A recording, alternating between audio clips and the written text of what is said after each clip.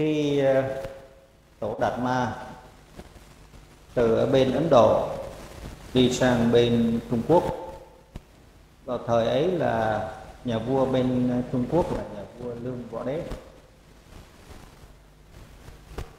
Và nhà vua lương võ đế cất 82 kiển chùa, cúng dường cả trăm ngàn tăng ni, in cả hàng triệu quyển kinh, lấy công quỹ ra để in. Cho nên hộ pháp là không ai thể bị kịp chùa 82 cái đều lớn hết á. Tại vì tiền công quỹ mà tiền nhà nước, cúng dường trai tăng. Khi tổ đạt ma sang, lương võ đế hỏi, bạch tôn giả, tôi xây 82 kiện chùa có một chút công đức nào không? Tổ đạt ma nó không có một chút nào hết. Xây 82 ngôi chùa lớn bằng công quỹ của nhà nước mà ngài tổ đạt ma nó không có một chút công đức nào hết. Cúng dường cả trăm ngàn tăng ni, không có một chút công đức nào hết. In cả hàng triệu quyển kinh, không có một chút cái đức công đức nó là gì? Ý tổ nói là cái gì? Ở trong kinh ờ, uh, Dược Bộ Nikaya 35 Đức Phật dạy như thế này. Tu hành có chùa lớn tông chúng ồn nào có thực phẩm nhiều? Đức Phật nói tu giống như ví như cái cây ấy, có nhiều cành lá xung xuê có cành có lá. Nhưng mà Đức Phật nói này các chư tỳ khưu chỉ cần một cơn gió nhẹ lá sẽ lìa cành lá sẽ rớt xuống dưới đất và chẳng biết đi về đâu chỉ cần một cơn gió nhẹ thôi. Cơn gió nhẹ là cái nghiệp của mình đấy. Khi nó trổ ra quả, thì nó rớt xuống à. Rớt xuống, nhanh lắm. Chỉ cần một cơn gió nhẹ, lá sẽ lìa cành mà chẳng biết về đâu. Thế thì người tu hành thấy mình có phước báo, có chùa lớn, có huynh đệ đông rồi có lương thực nhiều. Có phật tử tới cúng dường. Đức phật ví tu kiểu đấy là tu cành, tu lá. Tu cành, tu lá. Mà cành lá thì ngó thì xung xuê nhưng không đưa tới sự giải thoát rốt ráo là cốt lõi của đạo phật. Đạo phật là phải giải thoát. Thế rồi thì cũng trong bài kinh ấy đức phật dạy, người giữ giới nghiêm trì, một cái giới nhỏ nhất cũng giữ, không vi phạm. Thì đức phật ví những người ấy như là tu cái vỏ cây.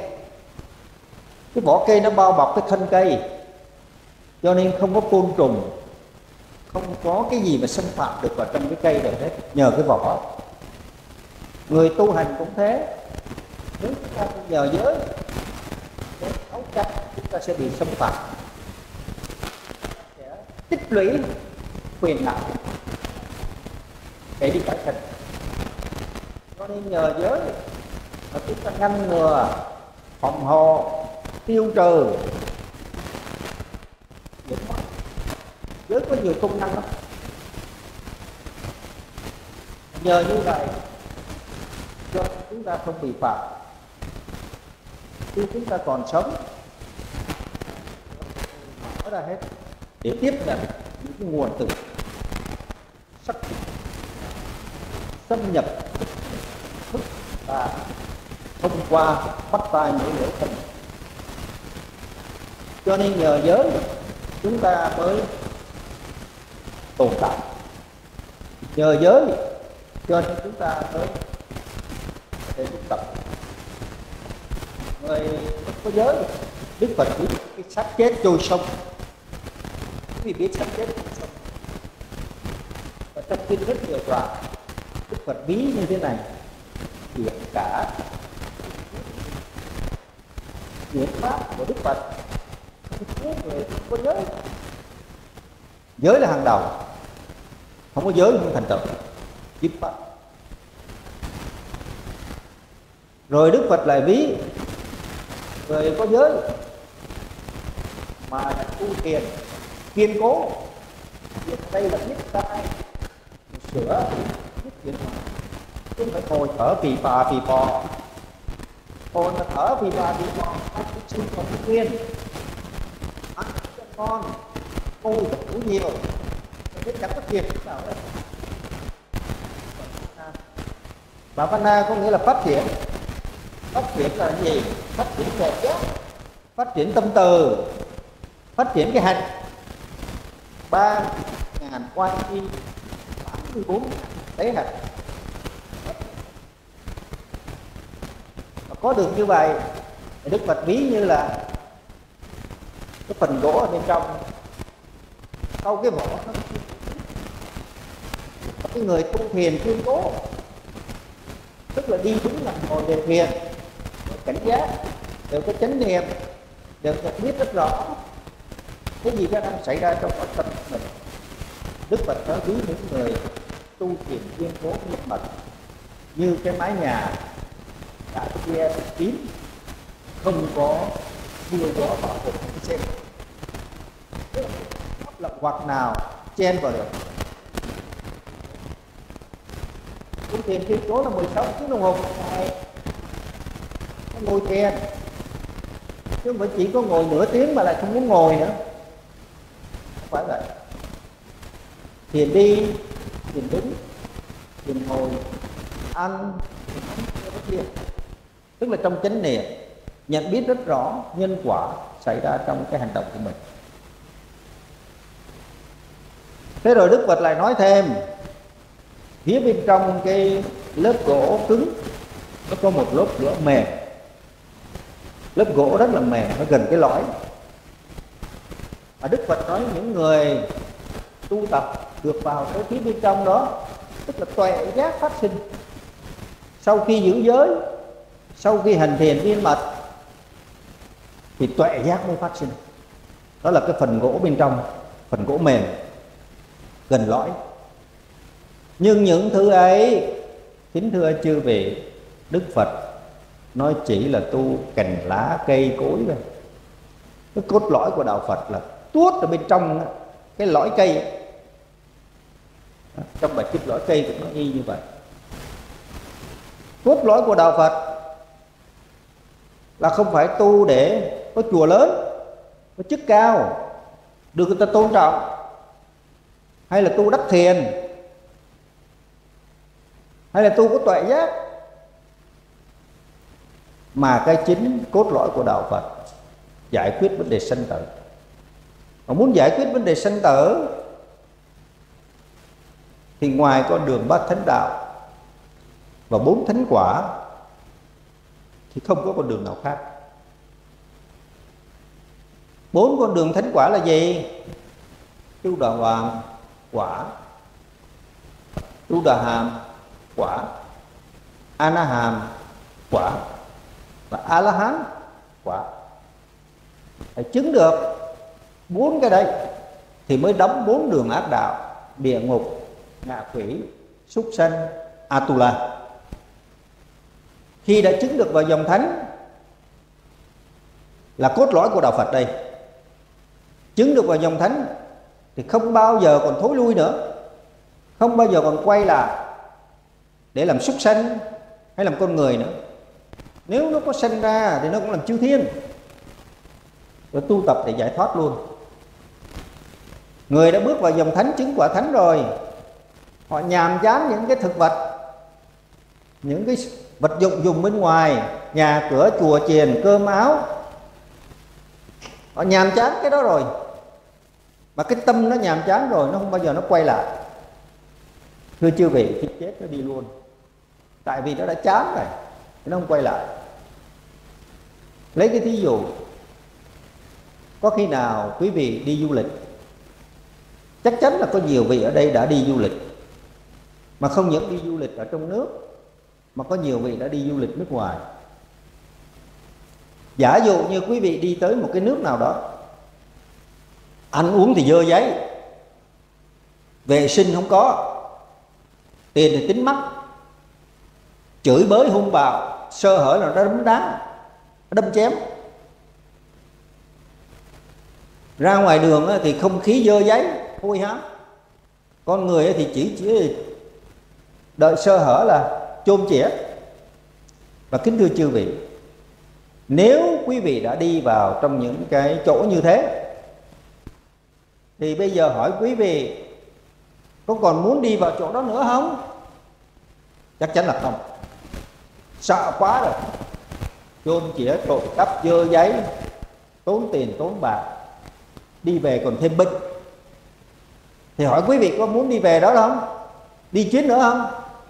Chắc chắn là không.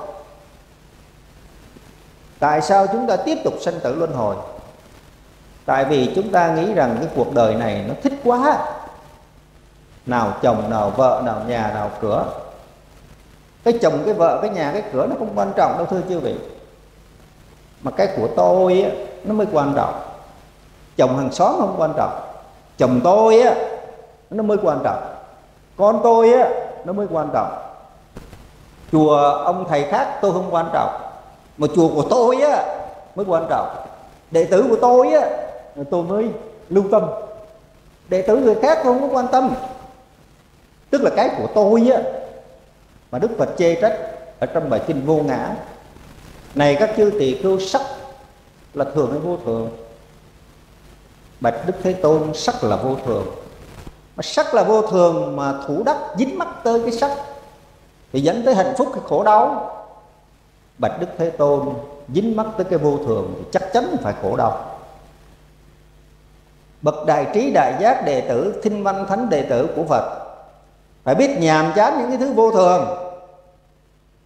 Nhàm chán những cái mình đang thấy, đang nghe, đang ngửi, đang nếm. Vì những thứ ấy đều tạo nên ái nhiễm, ưa thích. Người cư sĩ tại gia phải lìa bỏ được cái sự ái dục nơi ăn, nơi ngủ, nơi vợ chồng, nơi con cái, nơi nhà, nơi cửa. Ta vẫn sống, nhưng mà sống theo đạo. Tức là ta biết các thứ đấy vô thường.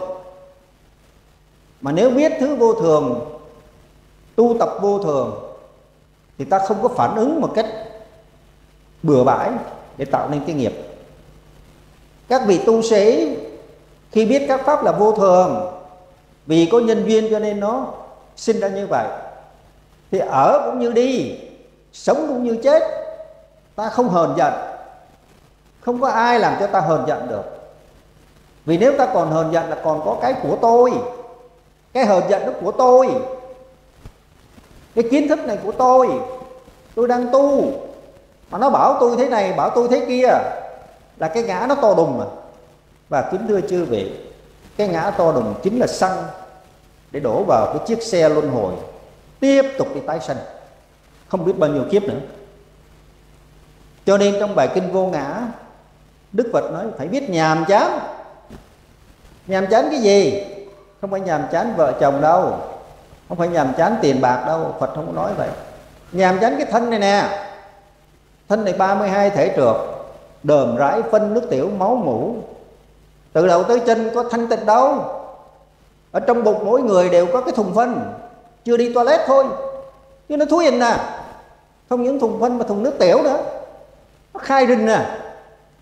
Nhưng nói đụng tới thì biết không?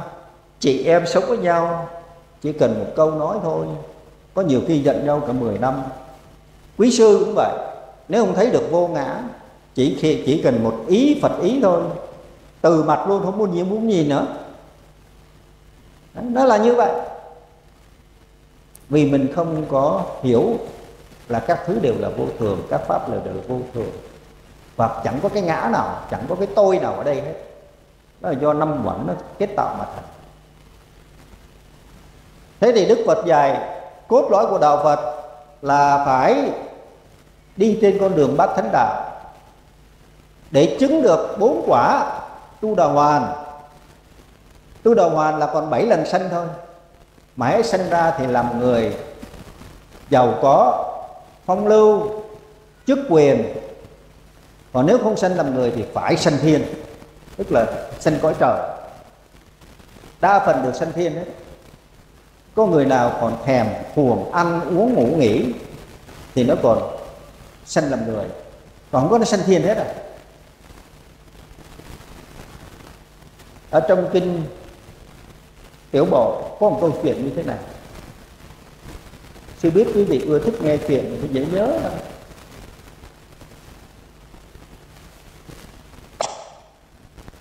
có một cái anh chàng á, lúc sinh ra đó cha mẹ giàu lắm.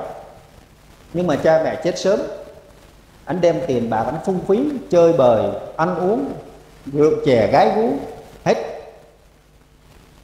có mấy thằng anh cướp. Nó thấy ảnh nghèo đói. Nó bảo ảnh, thôi bây giờ mày đi theo tao. Mày canh chừng quan quân nó tới, mày báo. Còn để tao đi vào á, tao siết cổ chủ nhà, tao lấy tiền. Thằng này lơ ngơ lơ ngơ, đứng ngay cổng. Mà nghe đọc ở bên trong nó chạy hết trơn rồi. Còn có mình nó nó mới học nghề mà, học nghề đi ăn cướp. Bị tóm đầu. Mà theo lệnh nhà vua vì ở trong đó nó đã có giết người, cho nên theo lệnh nhà vua, bắt được đứa nào bị giết, tử hình. Anh này bị quan quân dẫn ra pháp trường để tử hình. Đi dọc đường. Câu chuyện này rất quan trọng, thưa quý vị. Hãy lắng nghe. Đi dọc đường. Ra tới pháp trường, thì ở trên lầu một cái phố đấy có một cô kỹ nữ mà hồi xưa cái anh này đó, anh đã tung tiền rồi, anh bao che cổ gái karaoke. Bao nhiêu tiền anh cũng cho hết. Cho nên cô này cô rất là thương ảnh. Tại vì cho tiền nhiều quá. Cô đang đứng trên lầu, cô dòm xuống, cô thấy quân lính dẫn anh này đi gông cùng, sắp sửa đem đi chém. Mà cô nghĩ hồi xưa hai người ôm ấp nhau, cô thương quá cô mới năn nỉ, lính á nó thôi, các ngài cho tôi hối lộ. Các ngài lấy chút tiền, làm ơn cho cái anh này một bữa cơm. Tức là có một đĩa cơm thật là ngon, đến ăn trước khi chết. Để tạ cái ơn mà hồi xưa ôm ấp nhau. Thế thì anh này, anh được cái đĩa cơm. Quan quân mà, quan quân thời nào cũng vậy thế có đưa bao thơ, phong bì là nó cái gì nó cũng xong hết à. Hồi xưa cũng vậy. Người sắp chết rồi đưa bữa đĩa cơm cũng cho. Thế rồi anh này á, anh cầm cái đĩa cơm. Anh sắp sửa ăn. Quan quân đồng ý cho anh ăn mà. Tại vì nhận tiền rồi. Nhận tiền để cho ăn mà. Cho nên á, anh được phép ăn. Nhưng mà ngay lúc bấy giờ, ngài xá lợi phất đang ngồi thiền ngài đột nhiên khám phá. Có thể có nhân viên anh này cũng có tu, cho nên có nhân viên ấn độ anh này. Cho nên ngài thị hiện ra trước mặt ảnh. Anh đang bị gông cùng đang cầm cái đĩa cơm. Anh thấy ngài xá lợi phất đang ôm bình bát đi, lập tức cũng mừng quá. Ông nói, khoan khoan khoan khoan, bây giờ tôi ăn cái đĩa cơm này tôi cũng chết. Nhớ kỹ nha quý vị tôi ăn cái đĩa cơm này tôi cũng bị chặt đầu. Tôi ăn cái đĩa cơm này không thoát ly sanh tử. Cho nên, gặp cái ông xá lợi phất mừng quá. Thôi thôi, nói với quân hầu á, thôi bây giờ cho phép tôi được cúng dường cái đĩa cơm đó cho ngài xá lợi phất đấy. Thế thì khi ngài xá lợi phất nhận được cái đĩa cơm, lập tức ngài mở bình bát ra, ngài đổ vô trong đó rồi ngài ngồi xuống ngay tại chỗ. Quý vị phải nên nhớ câu chuyện này rất quan trọng. Ngài ngồi xuống ngay tại chỗ, ngài thọ thực. Và khi ngài thọ thực, cái anh tử tù này anh nhìn thấy một vị tỳ kheo đầu tóc và ngồi dưới đất thọ thực cái cơm anh cúng dường người ta khởi tâm hoan hỷ vô cùng, mừng hết sức. Đây là của cải ở trên thiên đàng, ở đâu đâu á, sau khi chết được hưởng cho nên nó rất là vui. Thì ngài thọ thực cũng rất là vui. Đáng lẽ ra, với cái tâm hoan hỷ, đức phật dạy rất rõ là quý vị, với cái tâm hoan hỷ trong sự cúng dường, với cái tâm hoan hỷ trong sự cúng dường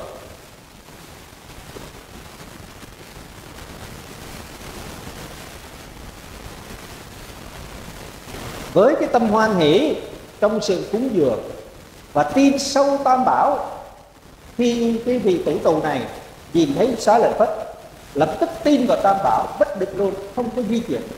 Cái niềm tin bất động, tin phật, tin pháp, tin tăng, tin tuyệt đối. Hai điều kiện. Thứ nhất, khởi tâm hoan hỷ, cúng dường. Thứ nhì, tin sâu vào tam bảo. Bởi vì hai điều kiện này đáng lẽ ra phải thành thiền đáng lẽ phải sanh thiên Đấy. nhân quả đó là chỉ cần tin sâu tam bảo, mà ở trong kinh pháp cú câu thứ gì á pháp cú chỉ dân đầu pháp pháp tam quả thiệt với sanh theo. Ý thiệt là gì? Là cái anh chàng ở trong kinh pháp cú á, anh chỉ nhìn có thấy đức phật. Trước khi anh chết, anh khởi tâm hoan hỷ, mà anh được sanh thiên chỉ cần tin sâu vào tam bảo thôi là sẽ sanh thiên tin sâu tam bảo, hoan hỷ trong phật, trong pháp thứ diệu đấy. Thế thì cái anh chàng này đáng lẽ ra ảnh là sanh thiên tại vì cúng dường cho vị đại thánh ngày xá lợi phất đấy. Nhưng mà rủi cho ảnh và cũng là cái nhân viên ảnh sắp sửa bị chặt đầu đột nhiên cái ngẩng đầu lên anh nhìn nhìn lên cái phố. Thấy cô kỹ nữ, cô kỹ nữ mà mình đã từng ôm ấp, bỏ tiền ra ôm ấp. Cô đang đứng ở trên lầu á, cô nhìn xuống. Và ảnh cũng nhìn lên, bốn mắt nhìn nhau. Đây cái chỗ này quan trọng lắm, thưa và chưa vị. Bốn mắt nhìn nhau. Mất toi cái chư thiên, mà rớt xuống làm thổ địa. Tại vì phước cúng dường cho vị đại thánh. Cho nên cái phước nó còn nhưng mà vì nhìn lên, cho nên còn luyến ái. Thấy cô kỹ nữ, cái tâm luyến ái nó ngủ ngầm. Cho nên không sinh thiên được, mà chỉ là thổ địa. Đấy. Thế thì đức phật nói, tu đà hoàn tư đà hàm a na hàm a la hán là bốn cái này là cốt lõi của đạo phật. Nếu quý vị không lọt vào thì tiếp tục sanh tử luân hồi, dẫu có làm chư thiên, hết phước cũng rớt xuống làm côn trùng. Thế thì bây giờ sư hỏi quý vị, tu đà hoàng là tu như thế nào? Quý vị cho mượn cái ly trắng ly không? Tu đà hoàng là cái gì? Ta phải hiểu để ta thực hành không khó đâu, thưa quý vị có điều là quý vị không chịu thực hành thôi chứ nó không khó một chút nào hết. Tại vì nếu nó khó thì không có ai chứng. Đã có rất nhiều người chứng hồi thời Phật, cả hàng chục ngàn cư sĩ, cơm áo gạo tiền đầu tóc, mà người ta cũng chứng tu đồ hoàng. Mấy bé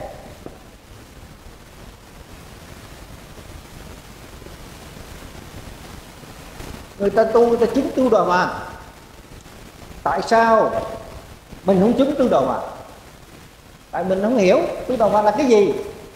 Mình không có tha thiết tu tu đà hoàn cho nên mình không có chứng hồi thời phật đã có cư sĩ lại hỏi ở trong kinh tăng cư, hỏi đức phật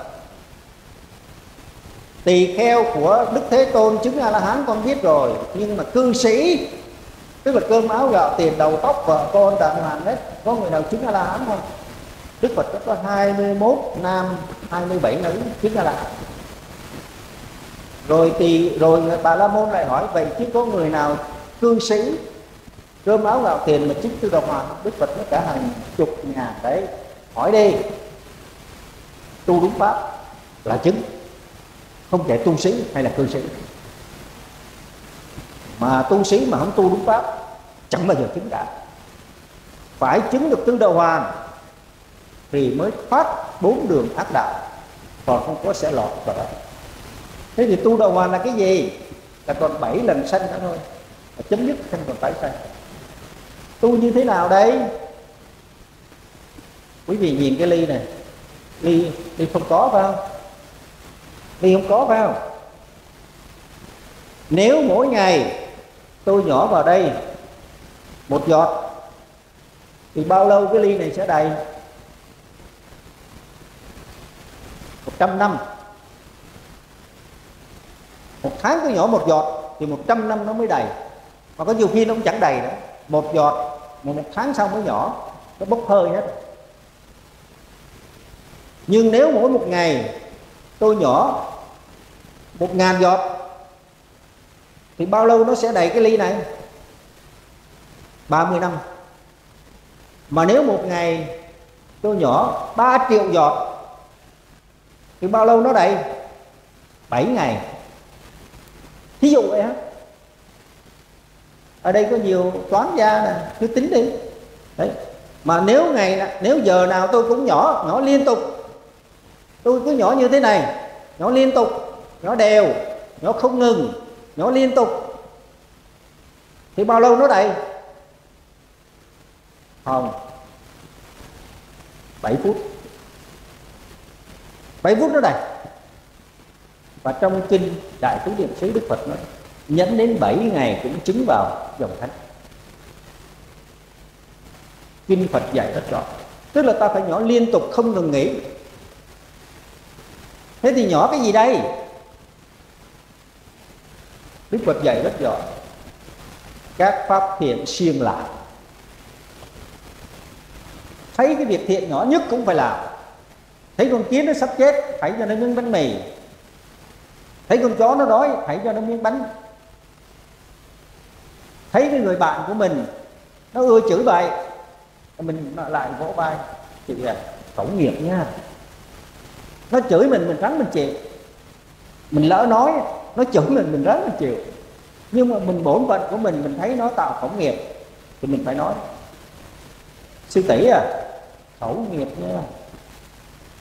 Nhắc nó thôi, đó là trách nhiệm của mình. Tức đó là thiện nghiệp. Thiện nghiệp là như vậy. Siêng năng làm việc thiện, đức phật còn phải đi xuống xỏ kim cho một ông già mù, tỳ kheo mù.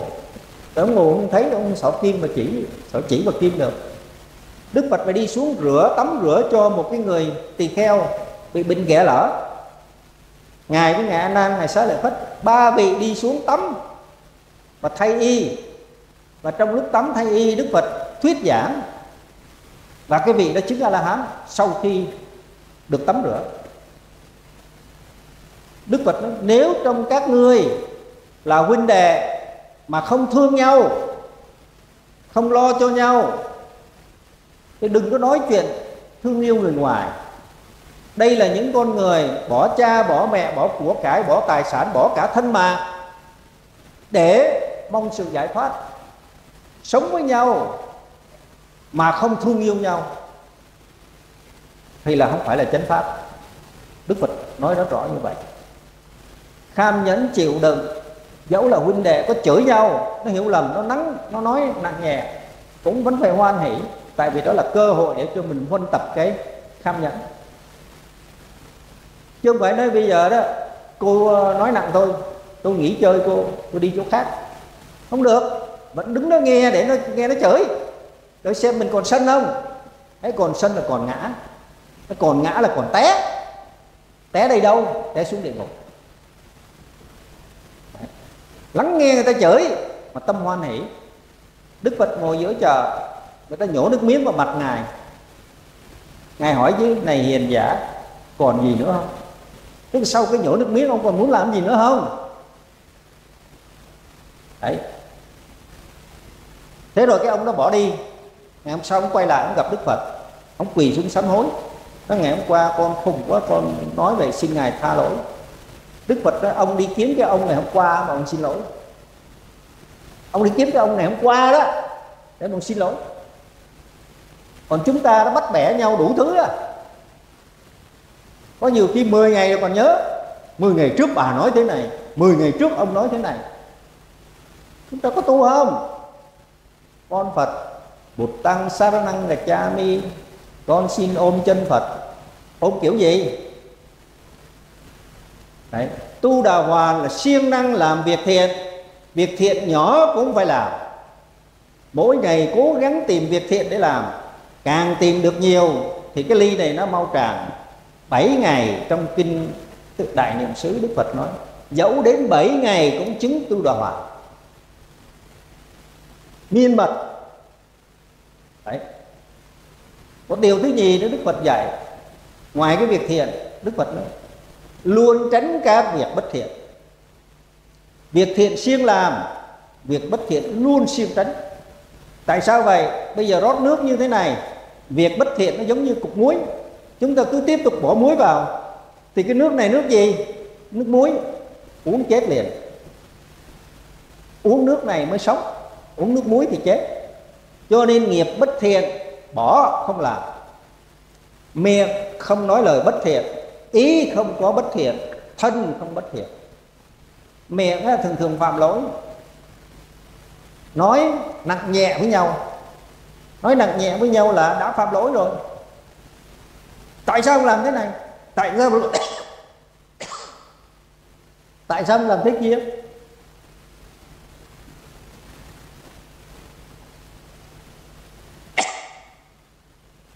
Ta quên rằng lời nói của ta đang tạo nghiệp, khẩu nghiệp. Vì ta nói trong cái sân, nói trong cái không hài lòng. Cho nên đức phật dạy lời nói phải có từ ái lời nói phải có tha thứ lời nói phải có trí tuệ lời nói phải có thương yêu bình đẳng. muốn chứng tư đầu hòa, tránh xa các việc ác luôn làm các việc thiện khẩu quyết có nhiều theo chìa khóa đang nằm trong tay quý vị. Quý vị mở cửa đi vào tu đầu hòa chứng dòng thánh sẽ không còn sanh tử luân hồi nữa. Hay là tiếp tục tái sanh tái sanh tái sanh. Ngày hôm qua chúng ta học rồi đó. Vào tử ra sanh. Vào tử ra sanh bằng cái gì? Sáng ánh sáng. Ánh sáng xong rồi sao? Đi toilet. Toilet xong rồi sao? Để ăn sáng. Ăn trưa. Ăn trưa xong rồi sao? Đi toilet. Toilet rồi sao? Để ăn tối ăn tối xong rồi sao? Đi toilet. Câu hỏi ở đây, nếu là người tu, ta suy nghĩ, phải chăng tôi đang ăn để đi toilet? Tôi đang đi toilet để tôi tiếp tục ăn. Đấy là sanh tử đấy, thưa chư vị. Chứ chúng ta đang tập tành cái nghiệp của súc sanh. Con chó, con mèo, rắn, chuột nó cũng đều ăn để đi toilet toilet rồi ăn. Mà nếu chúng ta vô thức ngay cái chỗ này là chúng ta đang tạo ra cái nghiệp bất thiện. Rồi cái ăn chung ăn riêng thôi, cũng tạo nên nghiệp. Tại vì ăn riêng là có bản ngã. Tôi là, tôi đã là, tôi thích như thế này. Và những cái ấy là là có bản ngã, là có năm uẩn. Vẽ có năm uẩn thì nó có ái ái ngã. Ái ngã thì tiếp tục bị tái sanh. Tại sao đức phật nói ăn bình bát cái gì nó cũng đổ vào đấy. Chè, cháo trái cây. Không có lựa cứ thế nhai thôi. Nhai để chi? Để nhàm chán người biết có tu, ta mở bình bát ra, thấy đồ ăn ngon, ta quán liền. Ba tiếng hồ sau, cái thứ này nó sẽ đi toilet. Cái mùi nó giống nhau. Cái đồ ngon này, nó không có tốt lành gì ở trong cái toilet ba tiếng hồ sau đó mà khi chính vì người ta quán được như vậy luôn luôn nhớ như vậy. Thì cái tâm thèm á, nó mất. Ăn rồi để đi toilet. Mà toilet thì nó bình đẳng. Cái mùi nó giống nhau, cái màu nó giống nhau. Tại sao ta phải bày đặt ăn như thế này thế kia để đi làm, để khổ cực, lường gạt người này người kia? Để cái ăn. Đấy. Cho nên tu đà hoàn không khó thưa chư vị. Ly này. Quý vị cứ rót vào và đức phật gọi cái hành động rót này gọi là tu đà hoàn đạo, là con đường đi tới tu đà hoàn và khi cái nó đầy rồi, đây nó đầy rồi, thì cái giọt cuối cùng chuyện gì xảy ra? Cuối cùng giọt, cuối cùng chuyện gì xảy ra? Nó tràn. Và lúc nó tràn thì người ta mới nói tu đà hoạt quả, tức là chứng. Nhưng nếu không có những cái giọt từ đầu tới cuối thì làm gì nó tràn? Làm gì chứng? mỗi một ngày ta phải làm việc thiện để cuối cùng nó mới chứng. ở đây cũng có nhiều vị đi làm trong nhà nước hay làm cho công nhân làm này kia. Có nhiều khi quý vị làm suốt một tháng, làm suốt một tháng. Nhưng mà tới cuối cùng, tới ngày lãnh lương thì sao? Có hai phút rồi lên cái cái thủ quỹ, nó cầm cái phong phong bì, nó đưa cho mình, có tiền, ký tên, xong. Chứng là như vậy đó nhưng mà phải làm 30 ngày thì mới được hưởng lương. Ngồi thiền không thể nào chỉ có ngồi một tiếng đồng hồ mà nói tu thiền, giống như trả ơn cho Phật. Cái điều đó thất bại. Quý vị ngồi đi 16 tiếng hồ, rồi mới hiểu Phật nói gì. Bây giờ chưa có ai ngồi 16 tiếng hồ là đang tu cành lá. Đang tu cành lá. Giữ giới thì như vỏ cây, tu thiền, như gỗ cứng, có phát sinh tuệ, thấy tuệ vô thường, thì như gỗ mỏng, gỗ mềm bên trong. Nhưng nếu không vào được cốt lõi của đạo Phật, tức là chứng tu đạo hoàng, tu đà hàm a na hàm a la thì coi như người đấy chẳng có tu gì cả. Sanh tử luân hồi còn y nguyên. Và hễ có sanh tử thì tiếp tục khổ não.